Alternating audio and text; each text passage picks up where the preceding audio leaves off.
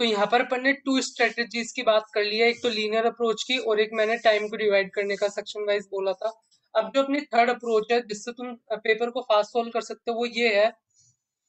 तो जैसे एक मैं तुम्हें चीज़ बताता हूँ, एक जयसूर्या, जो तुमने श्रीलंकन क्रिकेट कैप्टन का नाम सुना होगा तो पहले क्या था कि जो वनडे क्रिकेट था, उसको कैसे उसकी स्ट्रेटेजी होती थी खेलने की, जो इनिशियल फिफ्टीन ओवर्स थे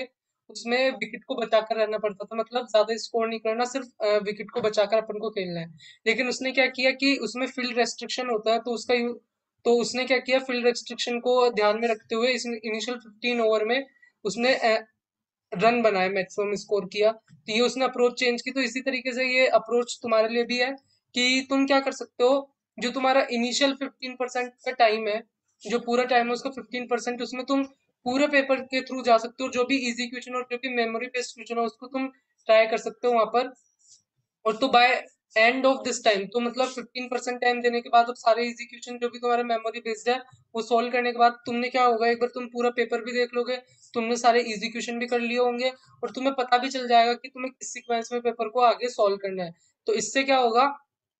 कि तुम्हारे कोई भी इजी क्वेश्चन जो कि पेपर में जो भी इजी क्वेश्चन है, उसको मिस नहीं कर मिस करने का जो चांस होगा बहुत ही कम हो जाएगा। तो तुम कोई भी इजी क्वेश्चन मिस नहीं करोगे और तुम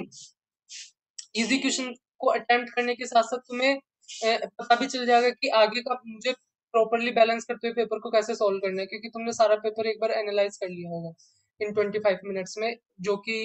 फिफ्टीन परसेंट ऑफ़ तुम्हारा टाइम है। तो इस तरीके से